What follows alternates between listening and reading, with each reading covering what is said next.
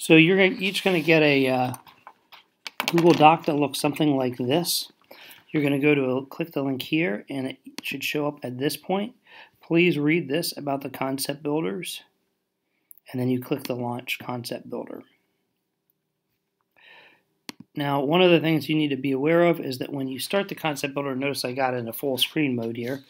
Um, yours will say guest. What that means is you're going to have to take a screenshot at the end of this activity, either with your phone or actually screenshot on the Chromebook, either way, and upload that so I know that you did the work. Um, we didn't get you accounts for these because I didn't think that we were going to use them that much, and we haven't, obviously. So you click Start. This is going to be an apprentice level. It gets you six points. Complete the master level gets you eight points. Complete the wizard level gets you 10 points. This particular concept builder is only worth eight points, so this would get you bonus, but they're pretty challenging. So I'm going to go here to the master level. So the first part, you've got five students, A, B, C, D, E, and an eyeball, which is right here.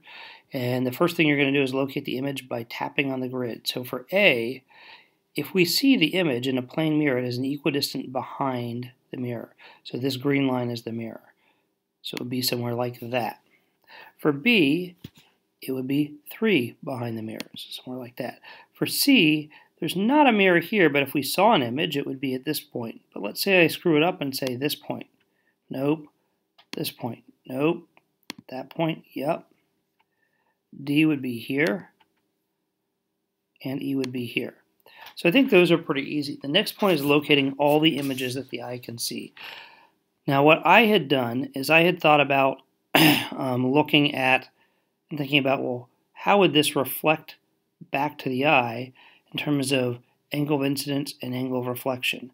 The easier way to think about it is look at where the images are. And if a line connecting the image to the eyeball crosses the mirror, you can see that image. So D you could definitely see. A you could definitely see. Here I think you could definitely see that.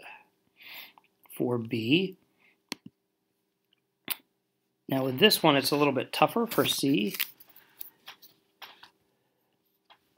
I'm actually getting a piece of paper and using as a straight edge on my computer screen. That's what they recommend.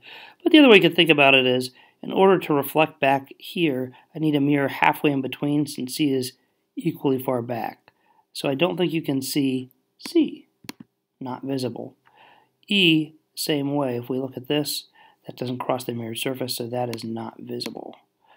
And if I check that answer, that away. If it goes oh, odrats, that means you've got to try that again. So if you get the star, you have to do it once. If you get an oh, odrats and it turns red, you have to do something similar twice. So if you need help, you go here, click on this.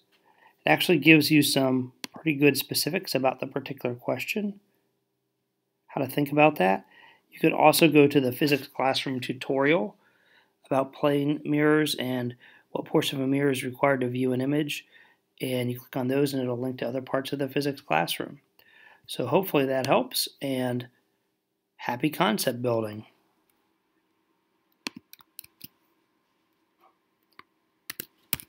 All right, for the second concept builder that we've got here, which is Lost, forget what they call it that, but it is the Lost Art of Image Description, in this case it's for curved mirrors. You would click here when you do that, this page should come up. Actually, this page should come up here. And it talks about it. Location, orientation, relative size, and image type, real or virtual. So this uh, caused me a little bit of consternation, thanks Membean, when I just tried to start it because I didn't read very carefully. So I'd ask you to read that and also listen to this simulation. Once again, you're going to be um, selected as guest. This is going to um, be yellow at the end, so when it says you've completed everything, you're going to need to take, take a screenshot of the whole thing. It'll say guest, but make sure you get where it says lost in there. The same way for the previous one, make sure you get where it says um, the title of the concept builder. So we're going to start that. So in this case, Read this because it's important. The red arrow represents an object located in the region beyond the center of curvature for a concave mirror. So it is curving to the left, the reflective surface is on the left. Identify characteristics of that. So that is an upright object. it is beyond the focal length, so it will be a real image. Those are the only two I can choose. Now when something's far away like that, I'm thinking about my ray diagram here. We are going to get an image that is in this region between the center of curvature and the focal point, and it'll be upside down. If I thought it was right side up, I'd click here, but I don't. I think it's upside down. Because it's closer than the object, I think it's going to be smaller than the object, and that's what this arrow is. If I thought it would be the same size as the object, I'd click again.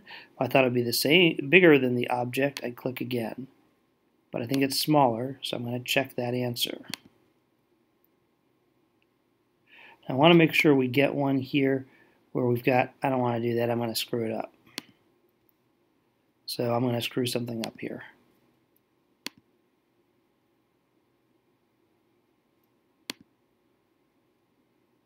I'm going to screw that up too.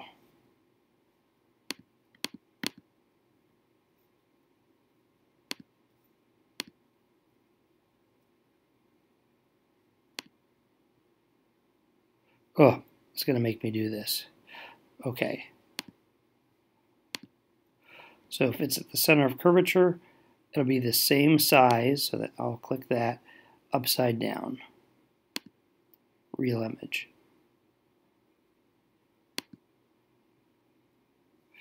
Now the image, the object is upside down, so my image, which is a real image, will be inverted from the object, so that will be right side up same size, same location. so some of the objects are upside down. Initially, some are right side up. Just remember, real images get flipped. Virtual images don't. Oops.